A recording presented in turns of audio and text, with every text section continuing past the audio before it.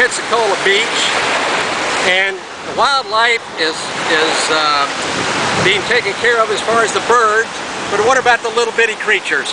The snails. Look at this, covered in oil. Look at that. Look at this. It's horrendous.